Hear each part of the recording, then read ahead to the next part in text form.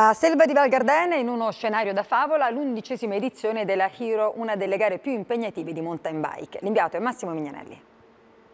Fatica, difficoltà, adrenalina al massimo. Questa è la Hero, la maratona di mountain bike più dura al mondo che si svolge sulle Dolomiti. È molto dura, sì, speriamo di arrivare in fondo. Quando parti, prendi la prima salita, una gran fatica e tutti gli anni dico ma chi me lo fa fare? Arrivo al traguardo commossa e dico non vedo l'ora che sia il prossimo anno. Le sensazioni sono di una ripresa di queste attività che ci mancavano tanto. 3, 2, 1!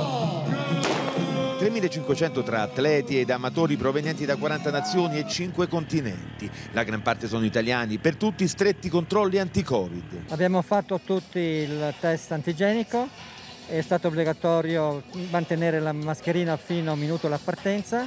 Gli accompagnatori e i turisti hanno rispettato le regole del distanziamento sociale e la mascherina. Il percorso come sempre è massacrante, tra dure salite e insidiose discese.